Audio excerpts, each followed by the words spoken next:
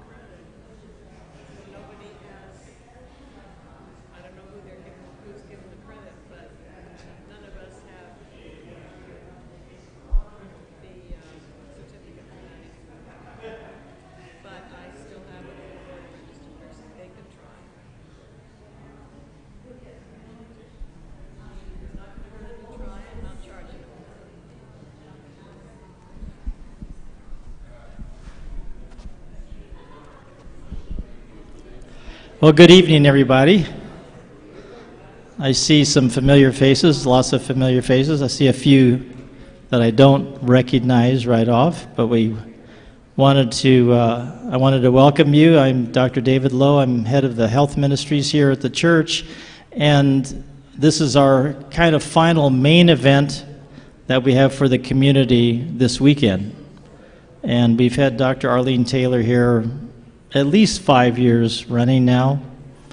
And uh, since she wants to live to 122, we can go at least no, over 22 more years, 32 more years.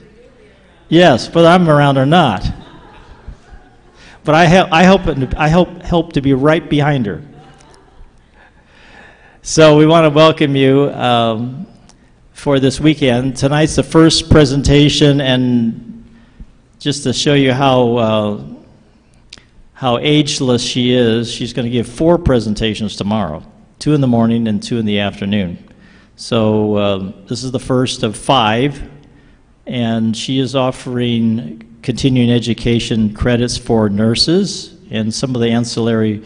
Uh, areas can sometimes use those nursing credits for their continuing education as well.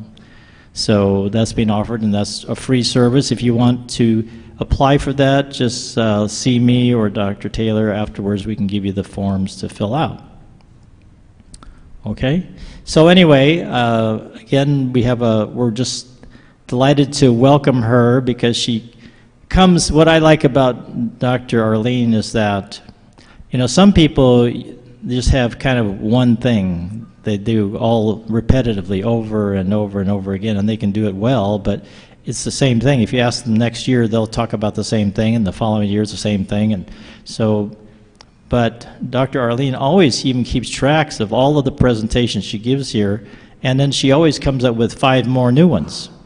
So you know that she's always continually getting new material, reformatting, reformulating, doing all those types of things to, to make it new and to update and to keep us on the cutting edge of, of what we're learning about the brain. And that she has no trouble doing that now because our knowledge of the brain and the mind have been exponentially exploding and increasing year by year. So it's probably hard to even keep up with all of that new information. But she has a way of synthesizing it, putting it in new ways for us, in, and easy for the un, uneducated in regards to the brain and the mind to understand. And she does it in a nice, easy, and entertaining way. So we're going to have, I just want to let you know that afterwards we'll have some things to give away that she has authored or been involved with, so you want to stick around for that. But um, just want to uh, welcome you again. And Dr. Arlene, thank you so much for being with us this weekend. We're looking forward to hearing a lot. And tonight it's on growing older gracefully, right? We only have two other options. ungracefully or not growing older. So before she starts, let's. Uh, I'd like to offer a word of prayer. Father in heaven, we just thank you so much for your blessings on us and that we can be here as we begin the Sabbath day. And we thank you for the gifts that you've entrusted to Dr. Arlene with her gift of speaking and her gift of learning and her gift of imparting knowledge. So we ask that you will bless her and speak through her and uh, help her to give us ways in which we can indeed uh, age gracefully in a way that will be pleasing to you and a blessing to others. We pray in Jesus' name. Amen.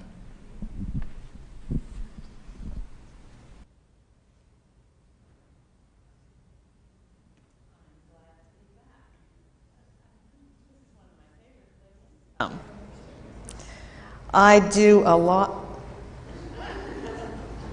Thank you, Ted. I do a lot of speaking lately outside of the United States, but I try to save about eight weekends a year for eight special places that I go back to every year to do a brain conference. And this is one of them. Although I'm not sure that I appreciate everything Dr. Lowe always says about my age. All right, so tonight let's just have fun. I always do research, but I've packaged it a little bit different tonight, a little differently. And uh, let's see what we can learn. And ask yourself I'm going to go through five sections and we're going to do some puzzles and things like that. As we do each one, ask yourself where am I in this particular construct? You know, I've got this nailed, am I doing this? Or is this something that I really need to look at? I've started prefacing when I do a brain conference by saying some of you probably didn't know Edison. I certainly didn't, Dr. Lowe. But he reportedly said,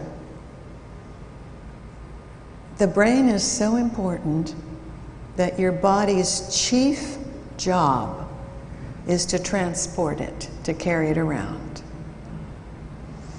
And sometimes people go, wait a minute, why is that important? Well, it's important that you keep your body healthy so that you can transport your brain. Otherwise, you'd be stuck in one place. Doesn't mean you couldn't do a lot of things, but you're stuck in one place. But if you don't keep your brain sharp, what's the point of the body hauling it around? So it's really a two way street. So tonight we're talking about growing older gracefully. And research shows that the older we get, the more like who we really are we become. Did you get that? The older we get, the more like who we really are we become. Meaning that the prefrontal cortex, where you have inhibition, and when we were younger and somebody said something or did something we didn't like, we might not have much of a filter and just tell them, you know, that we don't like that. And the inhibition would keep us from doing that. Well, as we get older and the brain loses energy and we lose some of that inhibition, we lose uh, the filter. And so you sometimes see people who are quite old who are not very nice. Their behaviors are not very um, conducive to relationships. And people will say, Well, I don't understand this. They used to be such a nice person. Well, the filter was working. And then you see people who are very elderly and they're just delightful to be around. Their filter isn't working, but that's really who they are. So I tell you, if you don't want to be a pain in the patootie when you get very old, and a super centenarian, you know, has to be at least 110 years old. I want to live much longer than that. If you don't want to be a pain and people don't want to be around you, you better start now developing the characteristics that you want to display then because otherwise they're going to know what you were really like. And that may not always be wonderful. All right. How many of you have been here when we did brain benders before? A few of you. All right, let's do some tonight. These are whole brain anti aging strategies. You can go to my website, arlenetaylor.org. I'm an org.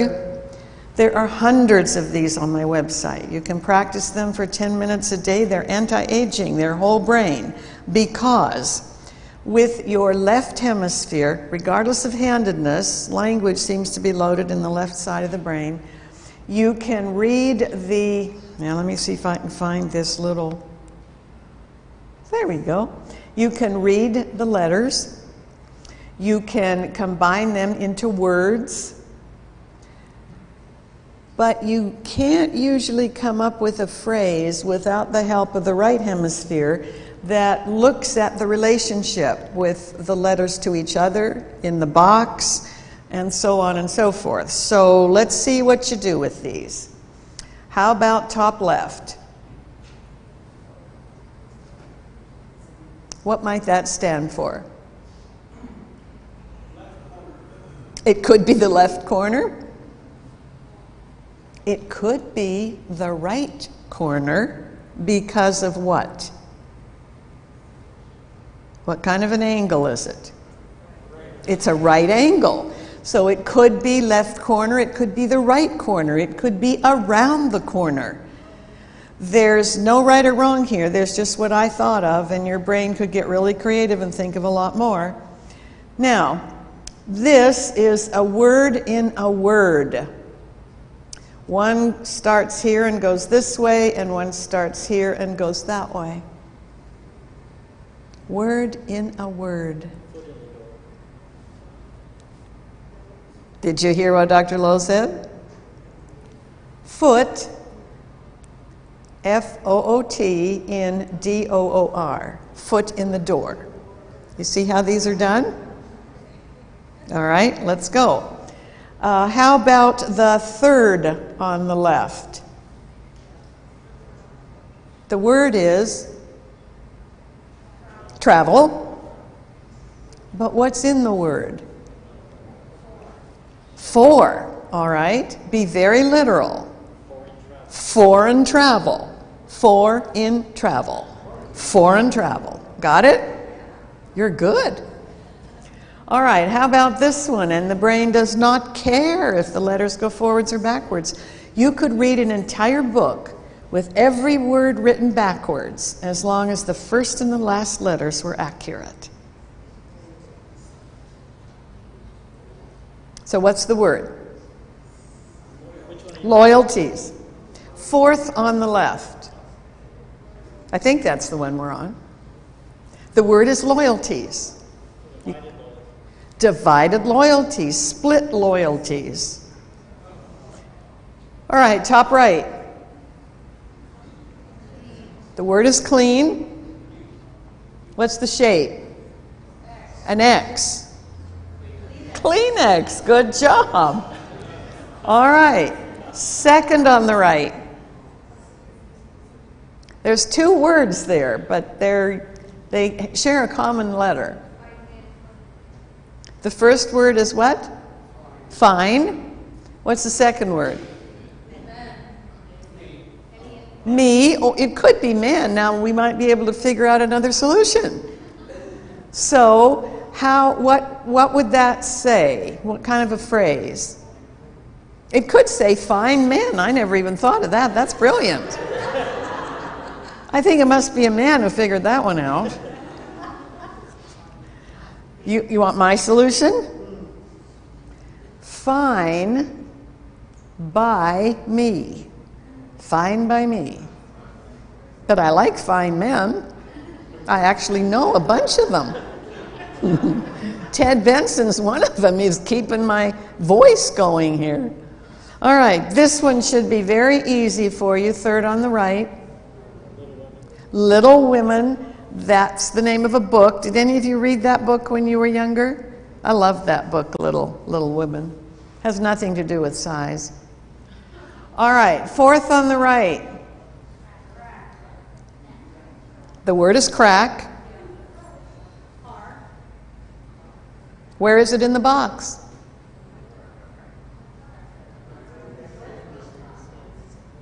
I'm not telling you this one. Get creative. Crack is the word. Where is it in the box? It's up. Crack up. There you go. I think some of you might want to go to my website, just saying. These are really, really good for challenging your brain because you have to use both hemispheres. All right.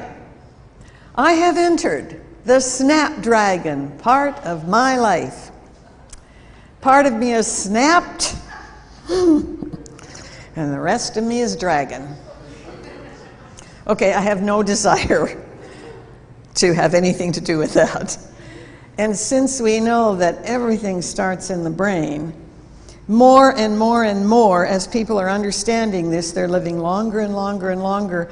There are centenarians and super centenarians all over the world in almost every country.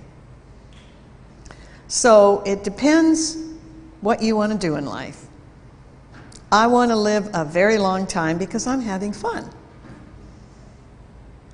I also want to have all my faculties and a good body to carry my brain around. Without a working body, how would I get here? All right. So, as Dr. Lowe said, research is just burgeoning about how to stay healthier and younger for longer, and I'm pretty excited about that. There are more cures coming out. There are more research studies that are giving us information. For example, I just got two new ones uh, this year talking about the discovery that autism appears to be a genetic disorder. And hopefully that's going to relieve a lot of people's anxieties because, you know, there have been all kinds of supposed reasons for autism. Poor parenting, for example, hello. So it looks like a couple of things are happening. In the brain, we have neurons and we have other cells called glial cells that are the servants, the personal assistants for the thinking cells. Because the cells think, but they're not very good at taking care of themselves, which I find interesting. So, in the brain, every neuron, and the ones you've got, except maybe for the hippocampus, your search engine, they're the ones you had when you were a little kid. Which is the reason it's really important what you do to take care of your brain, because brain cells do not divide and multiply in general like the other cells in the body. Well, so they found that in autism, the glial cells, those servants, and there are different ratios of those in the brain. We know that every neuron has at least one personal assistant 24 hours a day, fixes food for it, disposes of waste, all that kind of stuff but some have nine.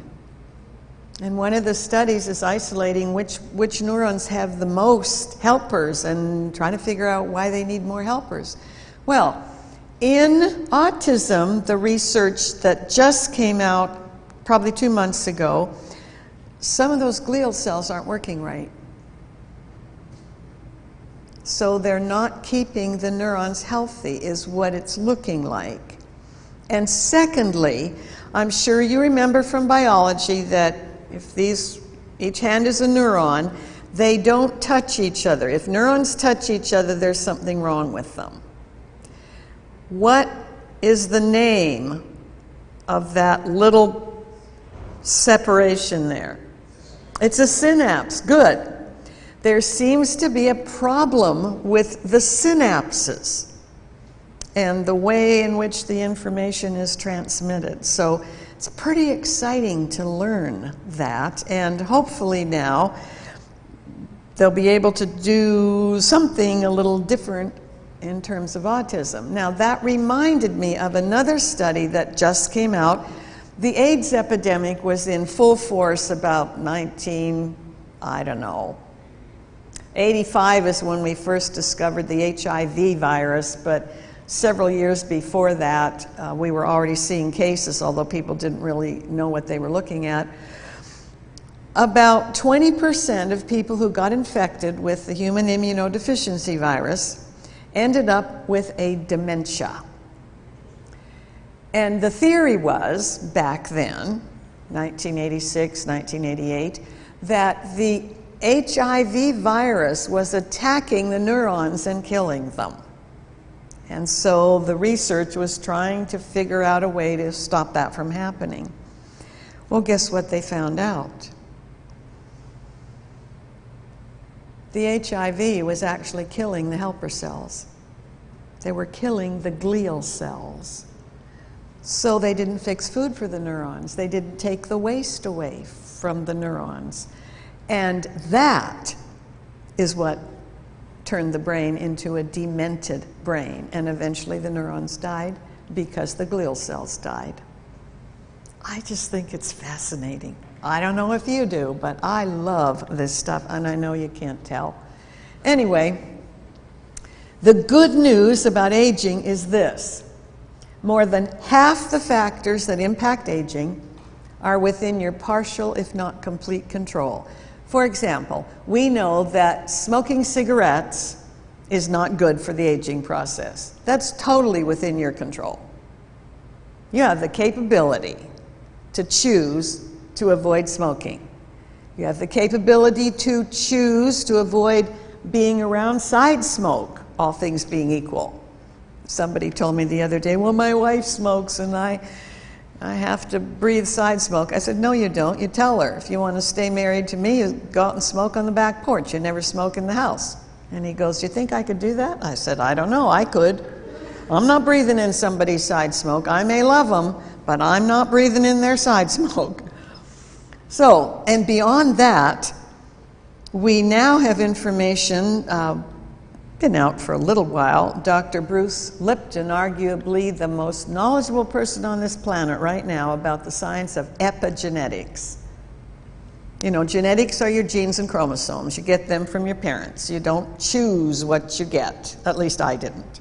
I didn't even choose my parents. Not that I, I'm sorry I had the parents I had, but I didn't choose them. Genetics probably accounts for 30% or less of how well you are and how long you live. So it really doesn't matter who your parents were in most cases. Epigenetics is everything that's not genetics. And in a word, as Dr. Lowe puts it, that's lifestyle. It's worth at least 70 percent of how well and how long you live. So, over half the factors that impact aging are within your partial, if not complete, control, and 70% of how you age, if you want to term it that way, is lifestyle. So, get with the program because it makes a difference. So, five research strategies. Let's just do those five. And I got to get moving and quit telling you so many stories because we really can't stay here the whole night. So here's the five, and then we'll take them one at a time. These are things you can do now, and they all start in the brain because everything starts in the brain. And this, by the way, is a positron emission tomography picture of a brain scan of a very healthy brain.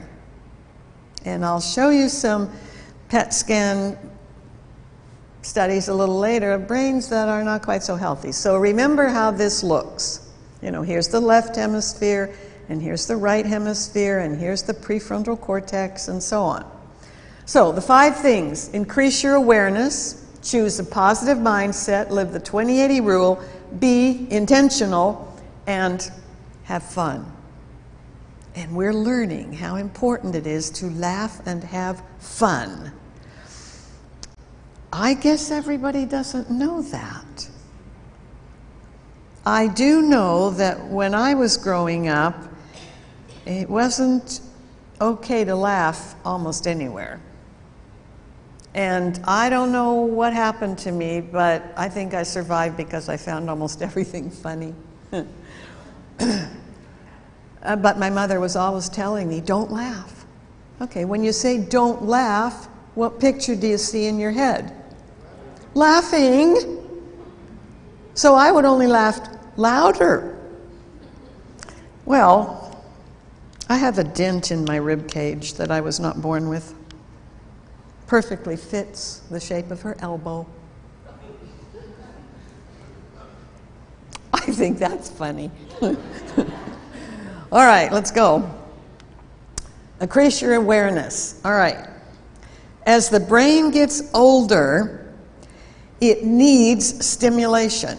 And that's the problem with starting to lose your hearing. Because sound gives the brain a tremendous amount of stimulation. So, well-meaning people will come to my office and or somewhere and we'll be chatting and they go, what did, what did you say? And I'll speak louder, and they'll say, Can you speak louder? And I'm already almost shouting. And I go, Do you have a hearing aid? Oh, I don't need a hearing aid. I'm not wearing a hearing aid. And I'm going, Okay. Big cause of dementia, preventable cause of dementia in almost every case the hearing aid would help more stimulation get to the brain. So, studies show that if you increase your awareness, you slow the process of aging because it's more stimulation for the brain. And some of you who are 15 think, oh, yeah, right, start now. If you want to live to be 122, start now. Few caveats. You can only know what you pay attention to, which means that little kids are sitting in school, they just came from a home where there was a lot of arguing, their brains are downshifted, they're sick to their stomach, they're scared. Their parents are going to divorce, they are not paying attention. And so they flunk, and that just makes them feel worse about themselves. You are more likely to recall what you pay attention to because every night while you're sleeping, compare this to um, Hollywood. They're making a movie, and during the day, the guys that do the filming are, are filming all of these scenes. When they go home, they hand this footage to an editor and that night, the editor plays all of that footage, decides what's good, what needs to be redone, you know, which pieces are going to be kept. All right, the same thing happens in your brain while you're sleeping. Your hippocampus, your search engine, has all of the things that happened during the day filed in its short term memory, if you will. And at night, it replays this, which is sometimes what triggers your dreams. It replays this for your prefrontal cortex, who's like the editor and says, We won't keep that, we will keep this, oh, scratch that. No, this stuff needs to be moved into long term memory. And the question has been, how does it decide what to keep and what to throw away? Well, researchers believe that what it keeps is what you paid attention to. If you didn't pay attention to it, you know, the, the cortex says, ah, they didn't pay attention to that, it's not important. If you have paid attention, it is likely to keep it. And that also helps with anti aging. You can only deal effectively with what you can identify, label, and describe. Again, that's brain stimulation. Can, could you label, identify, and describe everything that you saw while you were driving here tonight? Duh, of course not. Not unless you took a movie of it. But that analogy works. Choose to pay attention to what you want the brain to remember because it will be less likely that night to throw it out. How aware of, are you of what you're thinking? Are you thinking happy thoughts? Arlene, you are living to be at least 122 years old, and Dr. Lowe is struggling to keep up with you. Or are, are you saying, my parents both died when they were 75? I think it's hopeless. What percent of lifestyle impacts your wellness and longevity? 70. It does not matter so much who your parents were. Are you aware of your facial expressions? I know a lot of people aren't, and sometimes I've looked at people and I thought, they must be having a really bad day. Look at them frowning. And I'll say to them, um, Is something bothering you? No, nothing's bothering me. Why would you ask? And I want to say, Go look in the mirror. It looks like you got one foot in the grave. You know, how are you looking? Because your mirror neurons know how you look. And it's not real excited about frowning and looking dismal. So, Oliver Wendell Holmes, and I don't know how these people knew this, we didn't even have PET scans back then. Awareness is the first step on the continuum of positive change. So, let's do a fast experiment. I want you to sit there and I want you to close your eyes and I want you to pull up in working memory right here in behind your forehead. What does the person look like sitting to your left? Do you even know their gender? What's the person look like who's sitting to your right? And hopefully that's not your spouse and you don't know. Uh, do you know who's sitting in front of you? Do you know what their hair looks like? Do that experiment and ask yourself, what are you paying attention to? Because you may be just sort of zoning through life. Increase your internal self awareness, and this is key. Remember, you can only deal with what you can identify, label, and describe. So if somebody asks you, What are you feeling right now? Would you be able to label, identify, and describe how you're feeling? Start practicing. What's your EQ level? Emotional intelligence. We're going to talk about that tomorrow afternoon. Fabulous new research. Are you angry about anything? Do you know that? I'm not. I rarely get angry. I think it's kind of funny, frankly, to see somebody, you know, 50 years old and they're really mad about something. It's, they're, they're acting like a five year old and they're 50. Are you nervous about something? Are you afraid of anything? Do you feel calm? Are you sad? Are you energetic or lethargic? Are you well or unwell? Are you forgiving? Have you forgiven yourself? I forgot my deodorant today. Don't worry, Flo fixed me up. I rarely forget something like that. I made an assumption, which is, we'll talk about that tomorrow, that's jot behavior. I made an assumption since I hadn't done anything with my suitcase since the last trip that everything would be in there. I don't know where it went. I think somebody at the, you know, airlines looked in my suitcase and stole it. But it wasn't there. So I got to forgive myself for forgetting because I really, I really, that is not one of my goals. Are you able to forgive others for their mistakes? Because believe me, you're not flawless. And it sort of helps me sometimes when I forget my deodorant to remember that um, hmm, I do make mistakes. Now, increase your surround awareness. And this is pretty important. Yeah, we're talking about what's the temperature like, what's the humidity. Those are things that's nice for you to pick up in the environment. But are the people in your environment positive or negative? And you're one of them, so what are you doing? What's the emotional atmosphere like where you are?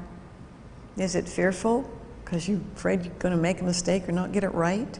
Or is it angry because this idiot over there did such and such, backed into my new car? You can't afford to be unforgiving because you're the one who's going to pay the biggest price because it releases all kinds of stress hormones in your body. What is your intuition telling you? You're not going to pay attention to that unless you're aware of your surroundings. And sometimes that awareness can save your life. I remember listening, I don't listen to a lot of news, but I remember listening to a program when they had the, that shooting, and I don't remember where it was in Paris, but there was this shooting. And a couple of people were interviewed, and the newscaster said, Well, you were at such and such a place when this happened. How, how did you avoid this? And the couple said, We looked at each other and said, Something doesn't feel right here. I don't know what it is. And they said, All right, let's go. They got up and left. They avoided the shooting by like 30 seconds. Are you aware of your surroundings and paying attention to your intuition? Because your brain is taking in 10 million, I do know the word million, 10 million bits of observations per second. You cannot process that. But when you get this gut level feeling or something bothers you, it's because your brain has paid attention to your surroundings and it doesn't like something and it's trying to get your attention. And we poo poo intuition. Avoid making that mistake. So, Here's a couple questions to see what you've been paying attention to. Do and avoid looking.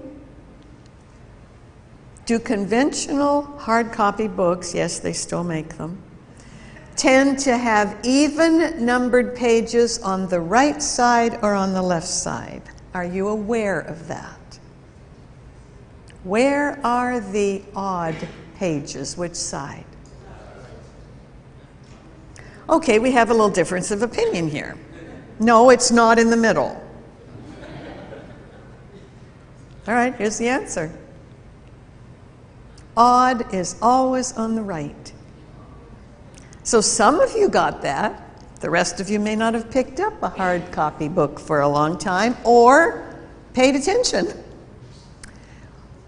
What do you see in this picture? What are you aware of?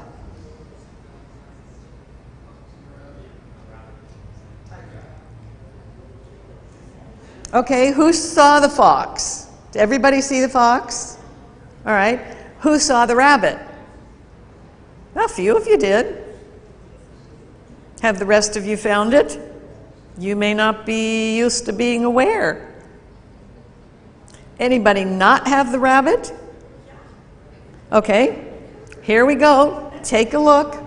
It's hard to see, but here's a little bunny rabbit right here hiding in the branches. There's lots of things like this. Sometimes you'll see them in the newspaper. Take time to do them because it's good for your brain.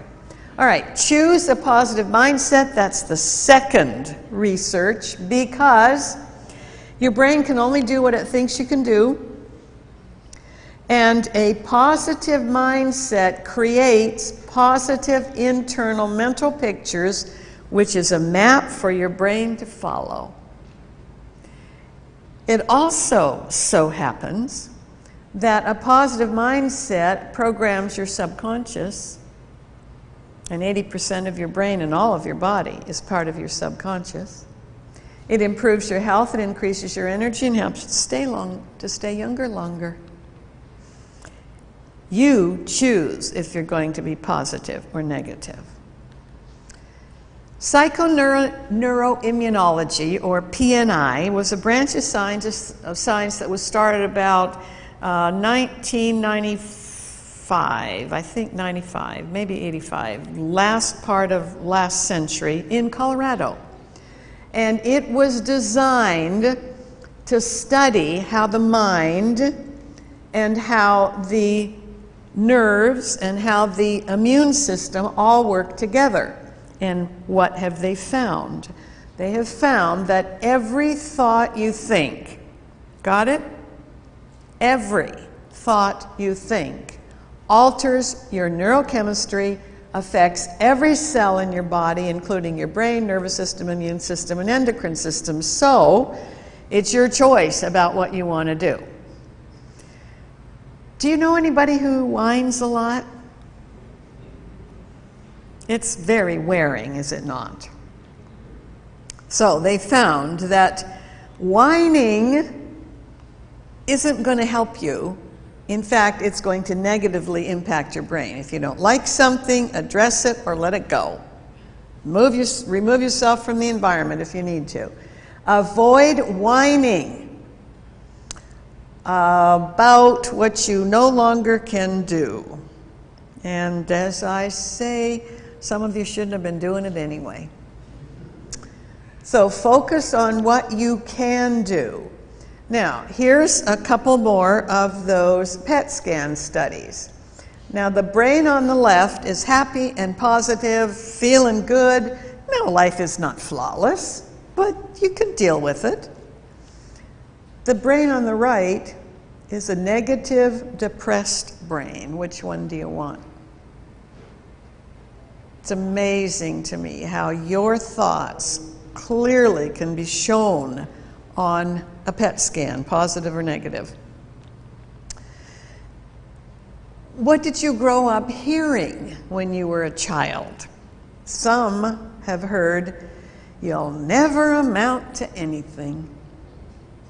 Unfortunately, that says more about the person who said that than the person to whom it was said. But I'll tell you, especially a child, that can alter their life for decades. I think I've told you this before. I never fit into my family. Okay, I loved them, but I never fit in. I was not like any of them. I must have a throwback ancestor somewhere that I'm like. I don't know. My mother was the first college graduate in 15 generations on the maternal side. That was a big deal. I'm a first generation, a second generation college graduate. You know, it's the 21st century, and I'm only second generation. Well, we were having a discussion one time when I was about 15, and my mother said to my brother, little boil on the landscape of my life, because my parents wanted a boy, and when I was born, I wasn't. And now we know that an, a fetus will know before it's born whether it's the right gender, whether the environment it's coming into is welcoming and affirming or not. Well, I didn't know what I was feeling, but I wasn't a boy. My mother wanted one child, she wanted it to be a boy, that was it. I screwed up all around. I wasn't even born on my dad's birthday, and she wanted me to do that, so she only had to do one birthday cake a year. So, 15, she says to my brother, Don't you want to be a doctor? And he goes, No. Keeps on chewing the dinner table. She goes, Why don't you want to be a doctor? I hate sick people, I don't like blood. He did not become a doctor. So little Arlene says, Well, Mom, if he doesn't want to be a doctor, I'll be a doctor. And what do you suppose she said? You're not smart enough to be a doctor. Problem is, I believed her for 30 years. But it was not to make me feel bad. You, you have to look at your ancestors and what they say. She was the first college graduate in 15 generations. Okay, she wanted to make sure I went to college. But a doctor for a female? Maybe two or three generations down the line. I wasted 30 years believing her, thinking that's why I felt different. Look at what happened to you. What did people say to you that was erroneous and you're still believing it? Because it's only their brain's opinion, and you're the one who knows your brain, hopefully. So, Dr. Daniel Wegner talks about the white bear phenomenon. And that's just amazing. Well, let me tell you about that a little bit before we go to that slide. He says, if you speak in a negative, what you're reinforcing in your brain is the very thing you, you want to avoid. And this is the reason. When I say to you, don't think about the white bear, what are you thinking about? The white bear. And you'll keep thinking about the white bear because I told you not to, and every time you try to think about something else, the brain will remind you you're not supposed to be thinking about the white bear. It's ridiculous. But that's how most of us grew up being told don't. Only tell your brain what you want it to do as if it's a done deal. Because if you say don't, that's the first picture that will go into your brain and the subconscious is not always very good at reversing that picture. And besides, how would it reverse that? If I say to you, don't think about the white brain, what would you reverse the picture to? What would you reverse it to? That's the problem. You have no idea. Are, am I even talking about a bear?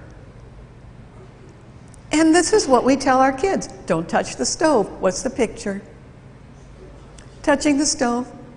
So they touch the stove, and we punish the kid who gave them the incorrect type of instructions.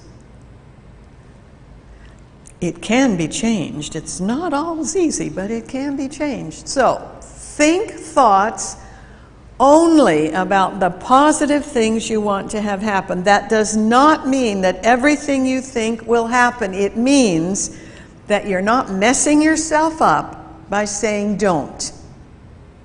And you are not negatively impacting all your brain's neurochemistry by a negative thought. Tell your brain what you're doing as if it's a done deal because your brain never gets in gear until it thinks it's imminent.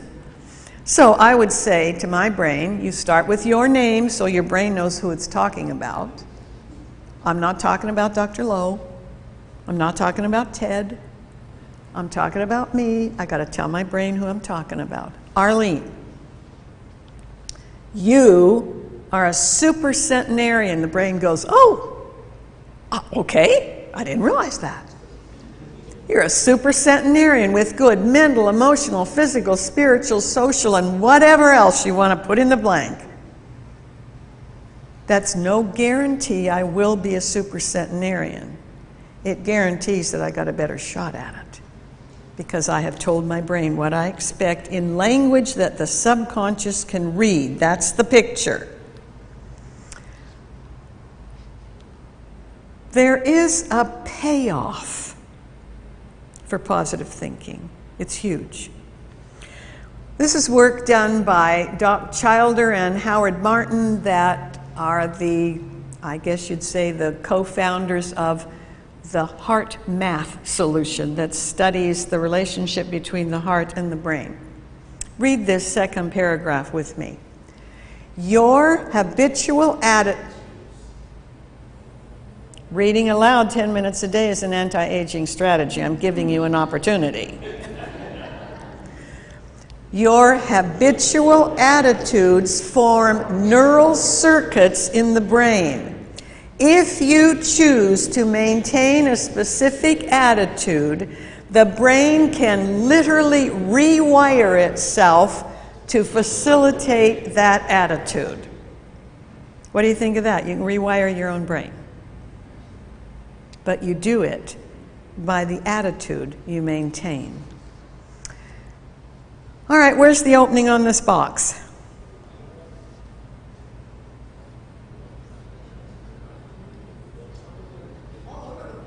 you got it, it's all over the place. Your right frontal lobe wants variety. you know, I've had to actually put down my remote at some lectures because as the people looked at that picture and their right frontal lobe went, okay, I see it, the opening is on the right, oh, no, it isn't, it's on the front, oh my goodness, it's at the back. They think I'm advancing it with the remote. No, your brain's doing that. And that's why these kind of puzzles are great for your brain. Look for them. There's lots of them, some even on my website. All right, number three, live the 2080 rule. In case you don't remember, we talked about this a couple visits ago. The brain is the first system to recognize a stressor. It reacts with nanosecond speed. A nanosecond is one billionth of a second. I mean, not that I can't even process how fast that is. If it thinks there's a stressor, it's already triggered the stress response. That will last for up to 72 hours before your body rebalances the stress hormones like cortisol and adrenaline and so on. And if you keep rehearsing what happened to you, I think there's, I've met some people who've lived in the stress response for 30 years because every time you trigger it. So let's say that I have a flat tire on my way to Camarillo and I just got here in time and it was a little stressful, but I have AAA and I have a cell phone so that I'll be prepared and I made it. But when I get here, I sit Dr. Low and Flo down and I say, Do you want to know what happened to me on the way here today? Okay, they probably don't. But I want to rehearse it. And I can do a Broadway performance of telling them how scary it was when I blew a tire. And I didn't know when AAA would get here. And I hope I had cell phone function. Okay, I've just re triggered the stress response 72 more hours. And then I get back to Bakersfield and I tell everybody in the office about this traumatic experience. Okay, 72 more hours.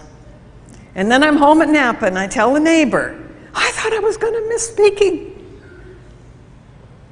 We do that, stop it. So here's a couple more brain scans.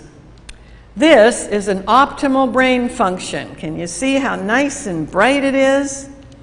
All right, well, here's the, here's the brain that's very stressed and depressed. And you can see, if you understand a little bit about the brain, that a lot of that is sort of right in the middle where the two amygdala, the pair of them, reside. And those little teeny, you know, almond shaped organs are all about negativity and fear and stress and anger and so on. So it's not worth being stressed. Got to figure out a way to manage that. Epictetus, second century Greek philosopher. I'm, I clearly put that on my slides now because a couple years ago I was talking to a group of university freshmen. And we were talking about how they can think positively to do better in school. Said, I just got back from Greece and I learned a lot about a man named Epictetus. Some hunk in the back says, Did you get to meet him on the trip? Which, of course, made me laugh. he must think I'm way over the hill. So, he was a slave initially, and, and I don't know all the details about how he became a slave, some kind of war. And evidently he was very good at what he did. And he, but he didn't like being a slave. I mean, hello. Tried to run away. He got caught. And his master busted up his leg badly. And so it never healed right. And so he always had to walk with a crutch, could not get around much. But that man must have had a brain. And this is what he said. Read this one with me. It isn't so much what happens to you that matters as much as what you think about what happens to you. Do you get it? it really doesn't much matter. If you couldn't prevent, avoid, or control it and something bad happened to you, it's not so much what happens to you that's going to majorly impact your life as what? As what you think about it. How much weight are you giving it? How much importance are you giving it? According to researcher Al Siebert, and try to memorize this, in fact, read this out loud with me too, because that means you're paying attention and your brain is more likely to save it tonight when it does its review. All right, let's go. According to researcher Al Siebert, no stress exists in any situation unless an individual human brain perceives something as a stressor and experiences strain. The stress is less the result of what actually occurs or exists objectively, and far more because of the way in which the brain perceives what is happening. Do you get the significance of that? Next time you feel really stressed, ask yourself how much of this is due to what just happened, and how much is due to what I think about what happened and it, how bad it was, and how it's going to impact my life.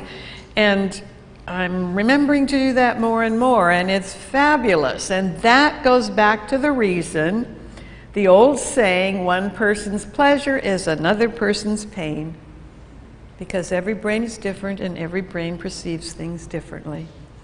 Deborah Bangasser is a researcher who's been studying stress, especially in the female brain.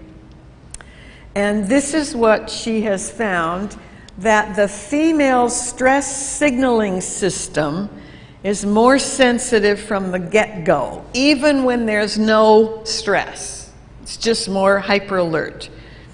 And the bottom line is that women in general tend to overreact to a perceived stressor. And men, guess what? They tend to underreact. And the reality is somewhere in the middle. So sometimes men say, well, this is good. You know, I'm, I'm, not, I'm not reacting to this stressor. And I'm going, think again. You go to Pakistan to serve in the armed forces, and what's happening you don't think is any big deal, and you come home with PTSD because it was a big deal. And males are more likely to have a major depressive episode in midlife than are females. Now, of course, it's not wonderful that females overreact because that puts them at higher risk for depression and PTSD, especially if they come back from the service or something bad happens. But be aware of that. Now, this is what the words of Epictetus have been turned into the 2080 rule. Only 20% of the stress is due to the event. 80% is due to what you think about the event and the weight you give to it. So you can't necessarily do every, anything about the 20% unless you're really preventive and avoid it. And 50% of all our problems could be avoided, some studies say, because we contributed to it. You can do everything about the 80%, everything. So even when there is a viable realistic stressor, you can handle the 80% if you choose to do so.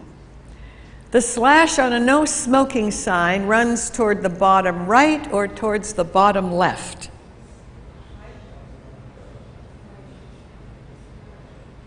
Okay, I heard some right. Who thinks it's the right? Who thinks it's the left? Okay, far more people think it's the left. All right, let's see which one it is. How aware have you been?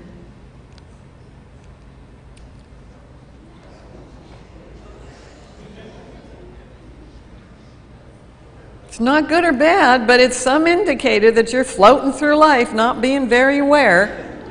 And you might want to change that because your brain's going to save what? What it thinks you paid attention to. So, you know, you got a partner here, you got a wife or a husband, you know, how aware are you are of, uh, how aware are you of them? Because your brain's going to know whether you're paying any attention to them or not or just blowing them off. A standard paperclip has how many curves?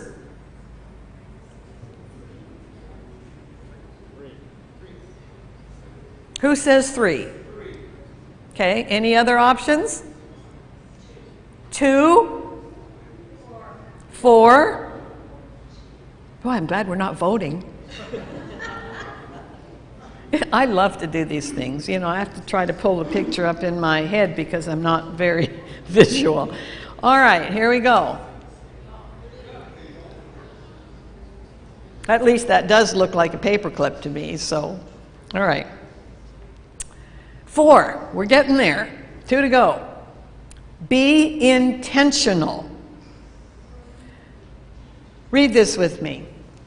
Older adults who have the attitude that life circumstances are manageable, meaningful, and that you are in control of your life, at least to some degree, tended to have stronger immune systems and better health. The most important factor in healthy aging is life satisfaction. The most important. So, are you satisfied with your life? Good. If you're not, do what you need to do to become satisfied. Because it is the most important factor in healthy aging. I'm not only satisfied with my life, I love my life. And I'm so grateful that I never became a doctor. Sorry, Dr. Lowe. Because he can do that part. I'm, I'm just so grateful I'm still in my career when all of this stuff about the brain is coming out because it's marvelous.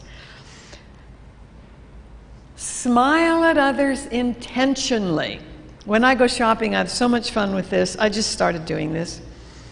If I'm walking down an aisle or down the street and somebody looks at me, I always smile. Problem is, one guy almost fell down the other day. I think he was, I think he was so surprised somebody smiled at him that he didn't know. But I do that, and it's fun. I'd say 85% of the time people look at me and then smile back. About 15% of the time they look at me and I'm sure they think, boy, I wonder what her mental diagnosis is. But most of the time they smile back. Be intentional about that. Do you know that when somebody smiles, it triggers all kinds of changes in the brain, including giving them a shot of dopamine, shot of serotonin, shot of endorphins. You've just done them a favor. And all you did was smile at them. But here's the deal same thing happened to you. So, worth it. Now, random acts of kindness, I like to do them. Follow a longevity lifestyle intentionally because we got the research. Starts in the brain. I love the quote by Helen Keller. Some of you may have read that before. Uh, read it with me. I am only one, but still I am one. I cannot do everything, but still I can do something. And because I cannot do everything, I will not refuse to do something that I can do. It never fails to give me goosebumps. That woman was deaf and blind and she was amazing. I wish I had been able to meet her. So, successful agers tend to be intentional. They control what they can and tend to live life with great enthusiasm. As one supercentenarian told me, I'm far too busy and happy to die young. You see, wellness is just the slowest rate at which you can die. and still maintain all of your faculties. That's a great way to look at it, as far as I'm concerned. So, is this familiar to you? What's the other name for this? The Serenity Prayer. Good. Read it with me. Give me courage to change what must be altered, serenity to accept what cannot be helped, and the insight to know the one from the other. And the insight is what's really, really important. So, if you have a negative mindset, you can change that. You can't change your chronological age. Hope, hope you know which is, diff, which is which. But here's the deal. Because we're learning so much about health and wellness, the people who choose to live a longevity lifestyle, guess what? 70 is the new 50, 80 is the new 60, 90 is the new 70, 100 is the new 80, 110 is the new 90, 120 is the new 100. We really are seeing that happen with the centenarians and supercentenarians, and I'm liking that idea. A regulation highway stop sign has how many sides? Some of you must have actually stopped. so, any other option? How, any other numbers? Six. Hope nobody says three. okay, how many? Now, I'm not visual, meaning I know you're out there. I hear sounds faster than anything you know, I have eyes, I can see, but I don't really do detail. But every brain can visualize. That's not a sensory preference, if you will. It's the ability to reproduce in your mind something that you've seen or produce something in your mind that you've never seen, which is what artists do often when they just they picture something and then paint it. So the only way I can do things like this is to close my eyes, imagine that I'm sitting at the stop sign, and remember what it looks like and count it. And some of you actually may be like that too. All right, last one laugh and have fun. I tell you, laugh and last is what laughter's all about. So, studies minimum of 30 mirthful laughs per day, but on average, people in the United States get less than half of that. Which means some people are not laughing at all. And I'll bet you you know some of them. I have a few family members with that particular disease. And it's really interesting come holidays and the families get together. So we're just busting up over something, and they're sitting there.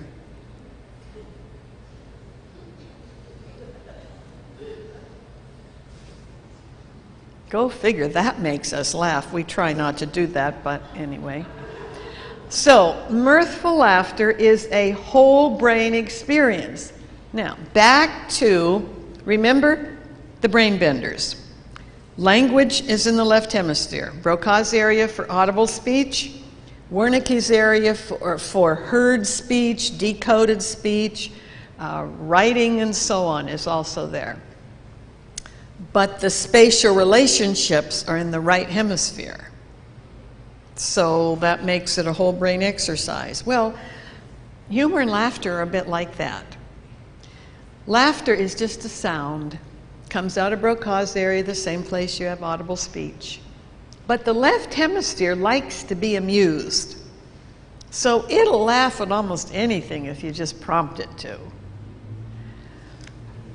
The right hemisphere has a sense of humor. It's not a sound, it is a mental faculty. That means that Every brain within the bounds of normal is born with software already in place for a sense of humor. You just have to develop it. Doesn't develop on its own.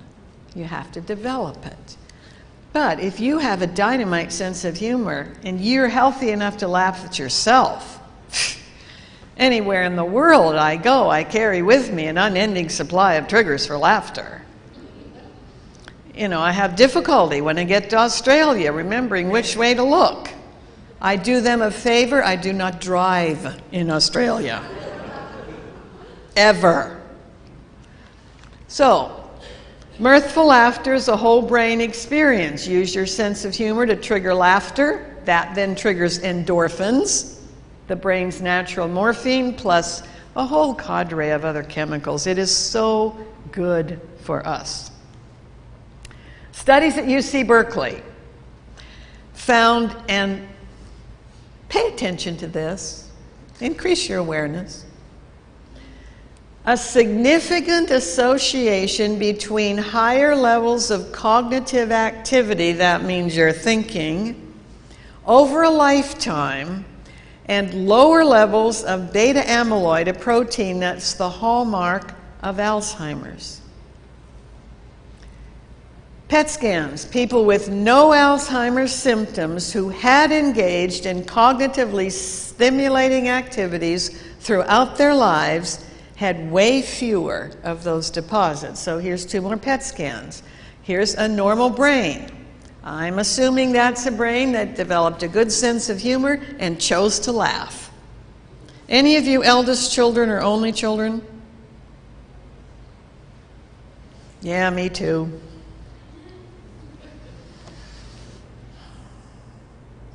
statistically, we don't laugh. We may have a dynamite sense of humor, but we haven't chosen to laugh, and I think it's because our parents practiced on us. And when we laugh, they told us to stop laughing, don't laugh. Okay, change that. Because we in that group are the type of people who will see something and say, that was really funny, Dr. Lowe, don't you think? That was pretty hysterical. He'll go, Yeah, you're right. No, it's a laughter that pumps all these chemicals. You just use that to trigger it. And we have to. How many of you are eldest or only again? Oh, yeah, well, we got work to do. We honestly, research shows we have to train ourselves to laugh. I love, I got a good sense of humor, I think, from my father. He was funny as a broken crutch. But my mother never laughed. She thought his humor was lame. Um, I've trained myself to laugh. Somebody asked me the other day, How did you do that? I said, Well, I started standing in front of a mirror, just looking at myself and starting to laugh. and he said, Were your clothes on or off?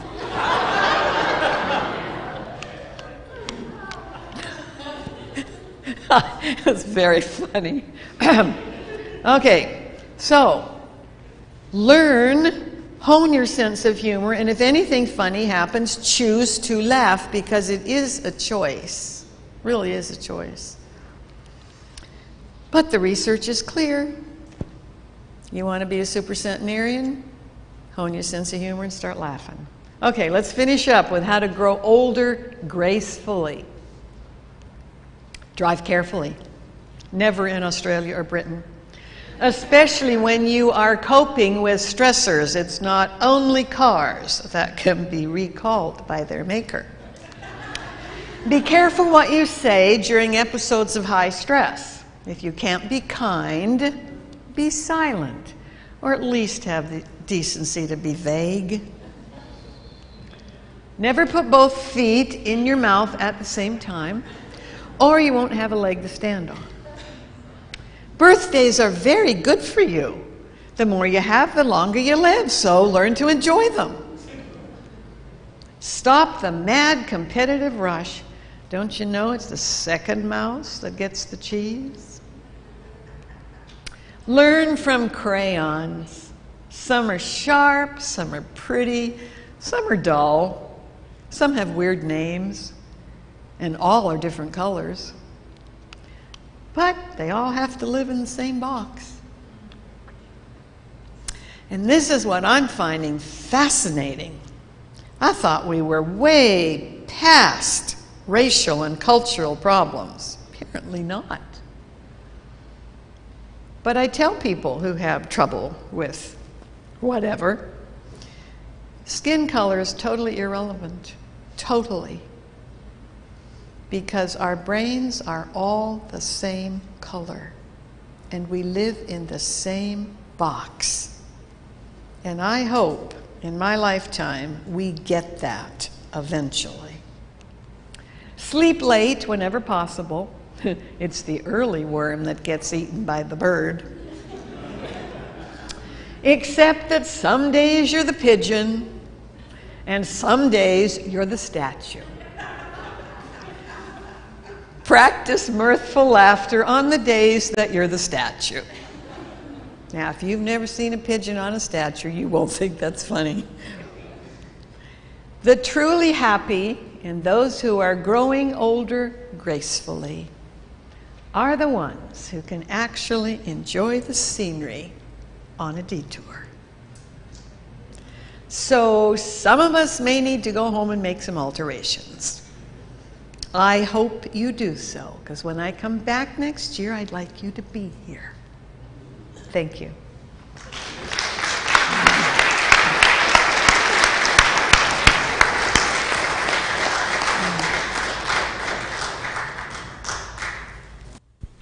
So, Dr. Arlene has offered to give away some things of hers. And so, not except her purse, things she's written. So, who, who came who came the farthest today, tonight? Who came the farthest away? Jeff? Calabasas. Anyone come from farther away than Calabasas? Yeah? Where? West Hills. Uh, that's a little far. Okay, yes? Duarte. Okay, that's farther so far. Anybody farther than Duarte? What? San Bernardino. Anyone farther than San Bernardino? All right, come on up here. We'll let you choose something. We have um, brain benders, age proofing your memory, just the facts, some children's kind of stories, whichever, which one would you like here? Got a whole array here. Well, I think my wife will like You like the brain benders. You're going to study those tonight for tomorrow's, uh, the brain benders that we're going to see some more tomorrow. Liz, we were going through this, the, the depression in my ribs, sitting next to my wife, kept getting deeper. Oh, you're getting a depression too, huh? That's a new form of depression. Women, learn male humor. They are funny as a crutch. They're five times funnier than we are statistically. But you have to learn their humor. Women like left brained humor, word stuff. Men like slapstick and, you know, crazy stuff. But they're funny. Now, this is what I see happen. I went out to dinner the other night with four couples. Sat down around the table, and some guy, first thing he says is what? Women tell me, what's the first thing he said? Have you heard this joke? Now, men connect with other men socially through telling jokes. We don't even understand them. So, this woman elbows her husband harder than I thought was necessary and said, Oh, I'm sure they've already heard it. Besides, when I heard it, I didn't think it was funny. Well, you won't think it's funny because you didn't get it. and the men, it doesn't matter if they've heard it before, they're going to laugh. Because that's how males connect. Now, there are universities that are holding entire classes to teach women how to understand male humor. Go take one. What is that class called? Understanding gender differences in humor. I think you gave us that talk, what, two years ago, right? Yeah, maybe so. There, there are a few people that could use that. Not in my household. They all understand my humor. I think it's despicable, but they understand it. Okay, so who came the far, next farthest? Duarte? Right? Duarte? All right. You get the next choice.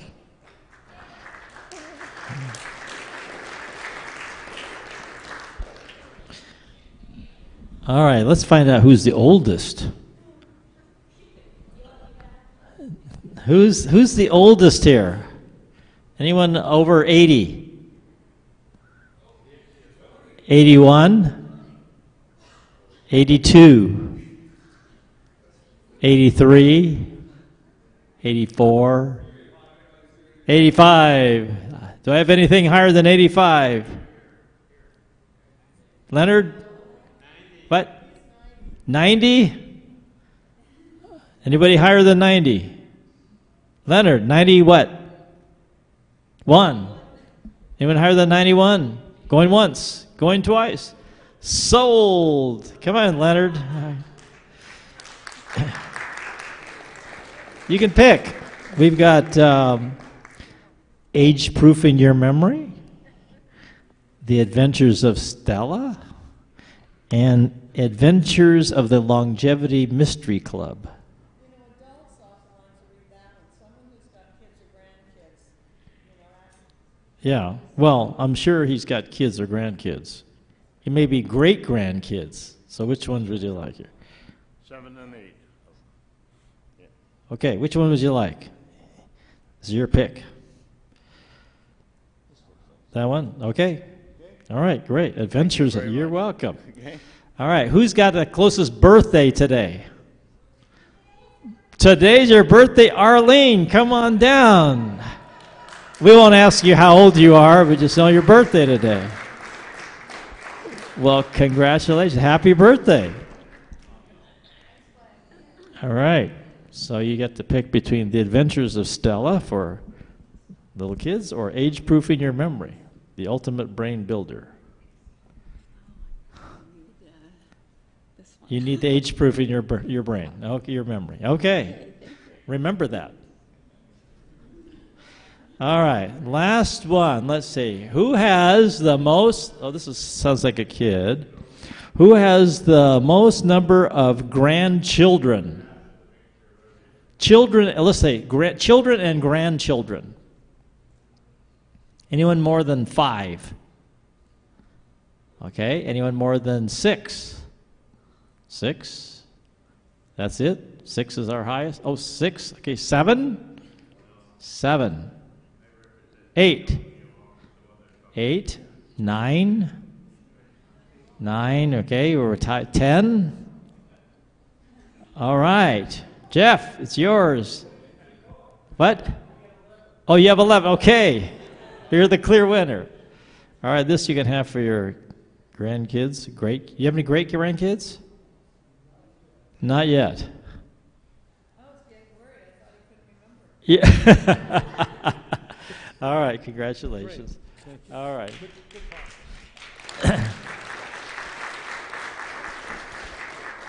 So stick around. We'll have more tomorrow afternoon to give away.